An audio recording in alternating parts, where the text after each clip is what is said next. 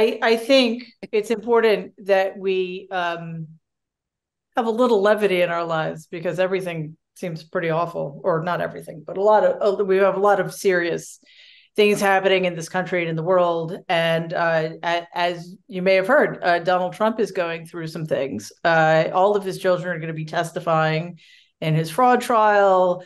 Things aren't going well for him in Fulton County, Georgia, thanks to the extraordinary Fani Willis, uh, who is flipping his co-defendants like pancakes.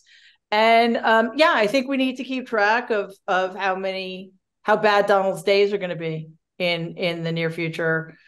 Um, by having a ketchup threat level. How many bottles of ketchup is he going to be throwing against the walls of Mar-a-Lago in the not too distant future?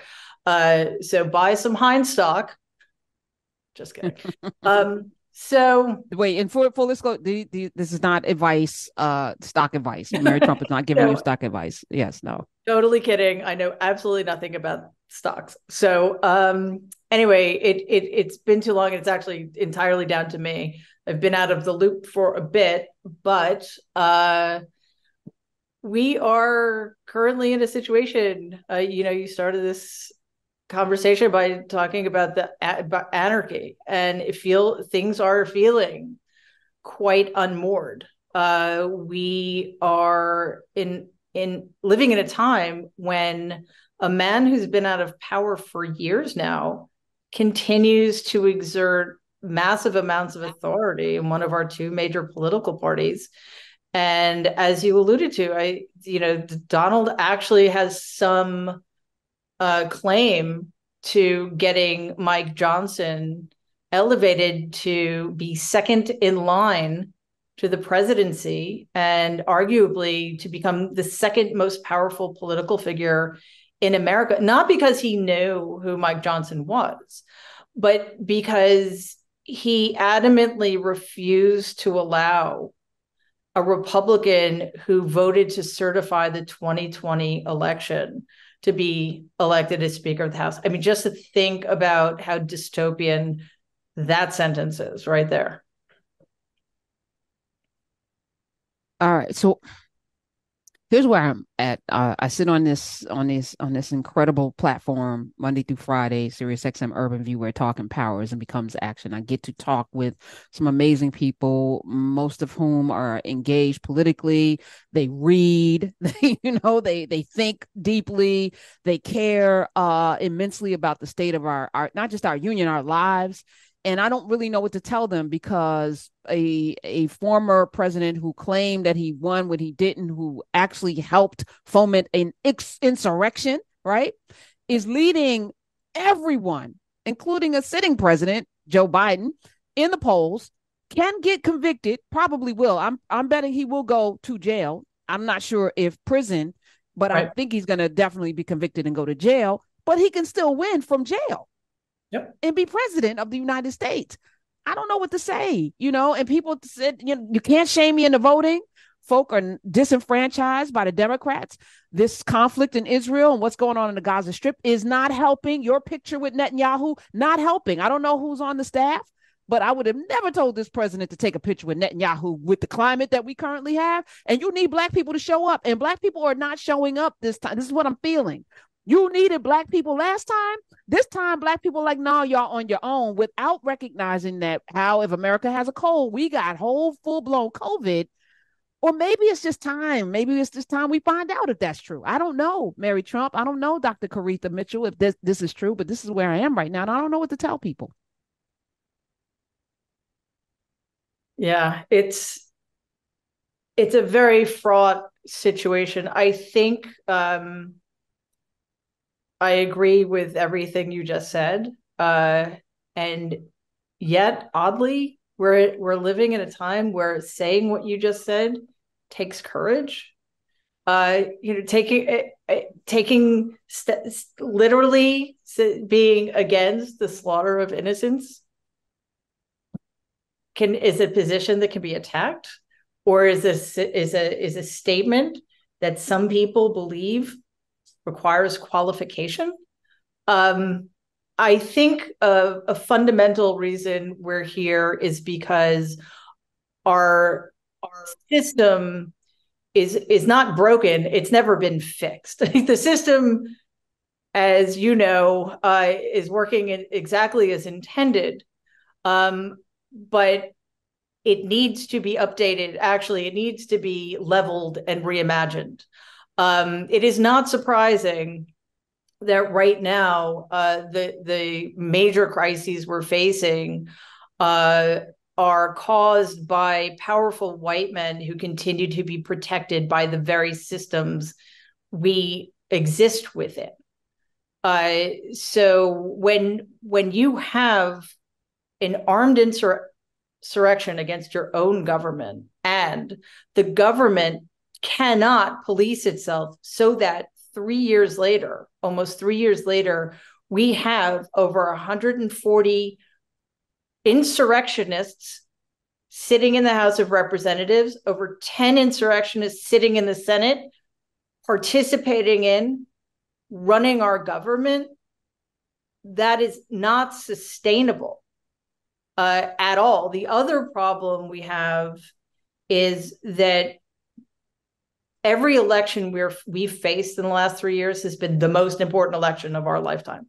Not three years, sorry, since 2016 if we continue fighting our rear flank, we can never make the kinds of progress that are necessary in order to solve the problems. We never get to the point where we have enough of a majority or enough power where we can fix the Voting Rights Act, we can fix the Supreme Court, we can, and on and on and on and on, uh, in order to make this country a democracy, because it's not and it never has been. Can I jump in there? Um, because one of the things that strikes me about what we're laying on the table is that none of the actions that Trump took were enough and remain to be insufficient to take away the influence. And it seems to me that part of the reason for that is because, as you said, when it comes to electoral college and so on, part of what we have is we have a system that is designed not to actually respond to the will of the people. But the other thing that's so disturbing to me about this, when I think about how long it is taking to have insurrectionists pay a cost, part of it is because anything toward progression uh, toward progressive ends, anything toward something like decency is actually under a lot of scrutiny. So that Merrick Garland, for example, is under a lot of scrutiny at the exact same time that GOP actors can have no, no pretense of decency, but they're not under scrutiny because the American people don't actually expect them to even be decent.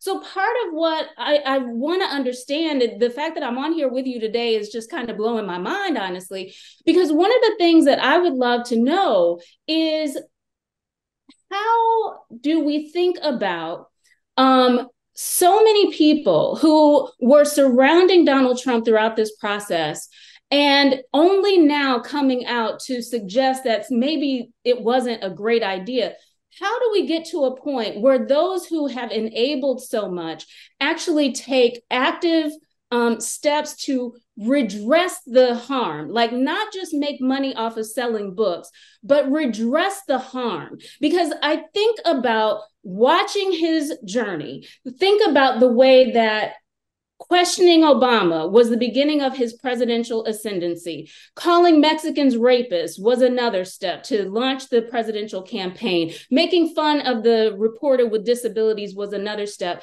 I think about all of the good and decent, quote unquote, people who sat by and didn't mobilize. And now, when I watch people who are coming out with books like the woman who just cried on TV apologizing, when I think about them making money off the books, I have to wonder at what point do, do you actually try to undo the harm to all of the people who have been run roughshod over as Trump has had this ascendancy and as insurrectionists go unpunished. So I would love to know from you, Dr. Trump, um, how you think about that. Uh, yeah, it's it's horrifying. Uh, it's it's absolutely horrifying, and it it's related to what I was saying earlier about the system on the one hand working exactly as it's designed to work, and the failures in a system that is incapable of policing itself. Uh, the media is a, the corporate media, excuse me, because uh, I consider this part of the mainstream media, uh, where you are Thank in you. touch with the people who are the heart and soul of this country. Uh, corporate media, on the other hand, is not and has its own agenda, which is not the truth. Um, so the corporate media has failed democracy, um, if not its shareholders, uh, by doing exactly what you said, Dr. Mitchell. They've allowed people or they've taught people to believe that all of the horrible things about Donald, all about the horrible things about the Republican Party are baked in already. So what could you possibly expect of them? They're just who they are, they're how they are. So they get a pass. And we saw this play out in the race for Speaker of the House.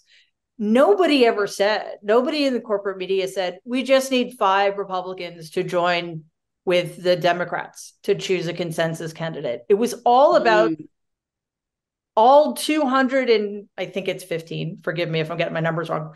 To all of the 215 Democrats needed to save the Republican candidate, even though that Republican candidate had betrayed them, had broken his his promises with uh, President Biden. And by the way, almost all of whom were, as we mentioned earlier, election deniers. So that puts uh, everybody at a disadvantage because it is not a level playing field. And although, don't get me wrong, I think there are plenty of voters out there to blame. A lot of them have been inundated with misinformation and disinformation and just, you know, don't know what's up. Uh, so it's a very complicated, tangled uh, environment we're living in politically, socially, et cetera. And it's going to take louder voices to drown out uh, the misinformation and disinformation. And that's sort of the the struggle that we all in the mainstream media are facing right now. So we're here. I, I, um, nope, we're here. Our Urban View, Channel 126, where talk empowers and becomes action with Dr. Koritha Mitchell. Dr. Mary Trump is here as well. The number is 866 801 8255. Uh, if you want to join us in conversation, I want to get back to the anarchy and to the possible coup. You you said Mike Johnson's ascension because I keep hearing that word ascension. Is that a code word too? Ascension is ascension something? Is that is that demonic? Like what what is the yeah. ascension that they keep talking about Mary Trump. And what do we do about a coup that we're living through right now? Yeah, I, I think it, uh, under normal circumstances, ascension is just a, a, is a completely reasonable word to use. But in this case, it's coded because this guy is an absolute nightmare. He is a a, a, a white evangelical religious fanatic who doesn't believe that any of the people on the screen right now have a right to exist, let alone have a right to have rights. I mean, he's just uh, an unreconstructed throwback uh, to pre 18th. Well, that's ridiculous thing to say. He's just an unreconstructed Southern racist. Um, so to use the word, I, I use the word ascension uh, with with uh, conscious irony um, because let's face it, he was an unaccomplished backbencher uh, who nobody had even heard of before, including the Republicans in his caucus. So he just sort of slid in there because of the ineptitude of McCarthy and the just the blatant vileness of Jim Jordan. So what do we do? Because I, I'm, I'm oh, again, oh, yeah. we're we're solutions oriented. I mean, you, I mean, you know, you can hide in plain sight, Mary Trump. You yeah. know, outside of being your last name's Trump, I guess you know. Eventually, they'll give you a pass. Maybe you can come back in if you want. If you just just just apologize, maybe I don't know. I don't know. Throw yourself on the mercy of the court. Koritha and I have a whole different. Like we can't go nowhere, right? We we we look the way we look, and that's it, right? And I th- and I do think is is that that dire as I'm watching images of Iran, Iraq, Saudi Arabia from the 1950s and what women look like in their business suits, in their pants, in their skirts, in their, you know, no hijab. And I'm not, you know, this is not about Islam at all. But women had freedoms. They could drive cars and run companies and, and work outside of the home. And now 2023, if you go to Iran, Iraq, Saudi Arabia, and all of these places, you you see a different way in which women show up in the world. And you wonder, I wonder at least, it happens like that, right? Uh, there's a lot of talk about Nazi Germany in, in the wake of what's going on. It took maybe less than 10 years for some mm-hmm. for, for neighbors to turn into pogrom that allowed neighbors to then turn their neighbors in, take their neighbors' property, kill their neighbors, usher them into uh, trains, put them in concentration camps, gas and burn them. Like that didn't take but a few years. Do you know? So we're we're living while you said, you know, Trump, it's to me catching and the the rhetoric around it, all of the coded words that are now being spoken. I think it was Charlie Chris or something. What's his name? Charlie, some Charlie guy posted something about the browning of America. Kirk? And he's I'll, I'll find it. Charlie Kirk. Charlie Kirk. Uh, yeah. and I'll find the quote when we come back. But I was like, oh, they're saying the quiet part out loud now. This is not even a, a secret anymore. Um, and again, I, I want to arm our listeners, and it's not just about bearing arms, and you know, that's not going to be the solution. Like there has to be a way forward, and I'm hearing a lot of people not voting, and I get it. Yeah. I get it. Yeah, I get it too. I, I had a conversation uh, a couple of weeks ago, um, and it was specifically about the situation in Israel and Palestine, but we could talk about it in the context of what's happening in this country. It is Sorry, I was about to swear. Um, you can swear. This is the or oh, this okay, is uh, cool. Sirius XM is you can drop the okay, F whatever you need to say. So fucking bad right now. It's it's hard not to swear, but it is a very shitty place to be when you are always you always feel like you're voting for the lesser of two evils, or because I don't think you know, we can have problems with the Democrats for sure. I don't think they're evil in the way Republicans that it's just they're not in the same universe of things. However, it still is a terrible place to be when you feel like you have to vote for a party that still after everything doesn't recognize you keeps telling you just wait four more years. We'll get to your rights eventually. And that's part of what i was talking about earlier. By continuing to be fighting our rear flank we're never looking ahead. We're always looking over our shoulders. So we can never get to the point where we have enough of a majority or if we, we have enough political capital to do the work that's absolutely fundamentally necessary in order to get to the point where Black people don't have to keep questioning why they're voting for Democrats if nothing ever changes. And the problem is, and I know this is self evident, but it needs to be said repeatedly the problem is white people. White people who refuse to recognize their privilege, who refuse to recognize how dire the situation is for people, as you said, who can't uh, pass, if you will. You know, for people who can just get away with voting out of their own self interest and not really worrying about what the people who've borne the brunt of the horrors in this country throughout its history, continuing to the present day, if they don't get over themselves, then they're going to find, as you said, as you alluded to, in the not too distant future, that they're going to be in a similar boat and they are going to regret their decision not to stand up. And it shouldn't take any courage, by the way. It, it shouldn't take courage to do the right thing uh, and just concede that all is not fair, all is not equal.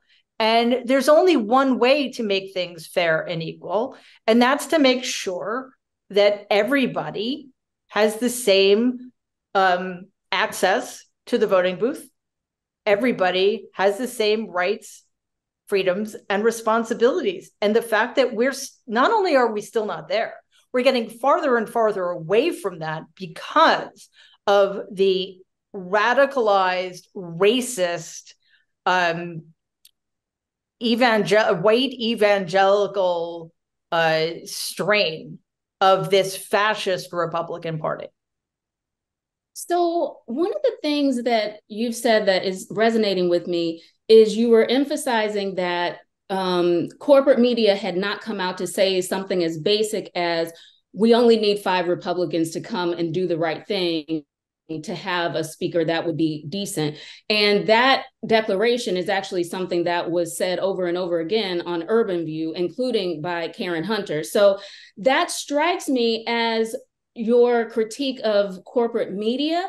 But one question I have is when you say that um, the system isn't policing itself, um, so that's separate from the corporate media, right? That's the the political arm. So I wonder what would you say about what I presented earlier about Merrick Garland being so under scrutiny in ways that um, no one is putting the Republicans under scrutiny. In other words, it seemed to me that he was trying to do his job of having the system police, police itself, but there's so little wiggle room. And I wonder if you see that as partly about voters being brainwashed by corporate media or voters just leaning toward anything negative if it has to do with the Democrats? Yeah, um, I think just to start with your last point first, I think it's absolutely this this perception that's been created that Democrats always need to do the right thing and Republicans can do whatever they want, for sure. Um, but Yes, it's a really good point, and I, I started to to get to it. I, I totally went off track because the two things are related: the ways in which Republicans get away without being scrutinized, and then people on the Democratic side, like the Merrick Garland, get constantly blamed, criticized, et cetera. And I'm one of those people. I have criticized Merrick Garland. Um, I've given him credit where credit is due, but I also do think that part of the reason we're in the situation and we're in is because everything took so long uh you know and and again i don't know what happens behind the scenes um i think it's fair to say that this this country was in a state of shock after january 6th um i don't necessarily think that's an excuse for the head of the doj uh, at all quite honestly but but any misstep he would make would be used as fodder against him when Republicans have no standards. Yeah, I, he's in a no-win situation. There's no doubt about it because I, he does get a lot of heat from the left as well, and and quite honestly, there's no template for this really. Um, I mean, there were some, um, you know, we did have some attempts, I guess. I, maybe that's too much credit after the Civil War to hold some people accountable, but that unraveled quite quickly. And, you know, it ended up with uh, the South actually winning the Civil War, uh, which is something everybody should acknowledge as, as historical fact at this point, uh, unless I guess you live in Florida.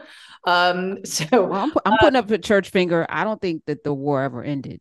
No, it didn't. You're absolutely, it never. I, I feel like so no one won. They, they, won the first battle. Let's put it that right, way. Right, Right. And they they mm-hmm. won the next several battles as well. Uh, you know, um, so I don't I don't know what the solution to that particular problem is, other than the DOJ needs to get a lot of wins on the board, uh, and then maybe through the the several prosecutions going on when we see when it comes out just how up to its neck uh, Senate Republicans were, Senate representatives were, we're going to see a massive push to hold them accountable as well, because it, uh, with the exception of Donald, there are no other political figures that I'm aware of that are in the group of defendants. And that is mind blowing to yes. me. Yes and I'm smiling because accountability should have happened already. To you know, Dr. Koritha's point, Dr. Koritha yeah. Mitchell is here, Mary Trump is here as well. We're trying to suss out what how we move forward. I don't want to have these circular conversations. You know, we are always about finding a solution. It's really tough when you have no. You talk about courage. Telling the truth shouldn't be a courageous thing. Doing the right thing shouldn't be courageous. Everybody in Congress should be held accountable. The 140 insurrectionists that are currently in the House of Representatives and the 10 that are in the Senate of the 100 should be held accountable. No one should be okay with that. The fact that Liz Liz Cheney who is no angel lost her entire career holding accountable the you know holding people accountable and that nothing has really come of this is the problem and it makes it really easy for people to overlook everything that Donald Trump is so I have no I've no um I'm not optimistic y'all that that anything good is going to come of this just because it's supposed to happen. And i think we we have relied on fairy tales for far too long. You know uh, it's time for us to grow up and really see what is happening here which is that this this country has been broken from its inception, steeped in the blood of, of indigenous folk, and then followed that by the blood of Africans, and followed that by by the decimation of the Asian folk that you brought here to to to build your railroad, uh, followed by laws that then codified all of that decimation. I'm watching um, a documentary about the land stolen from Black folk after reconstruction 90% 90% of the land. And it's still happening. The heirs uh stuff that's going on here it is so frustrating. But we have to first start telling the truth and then holding people accountable and not giving up. Uh, let's keep fighting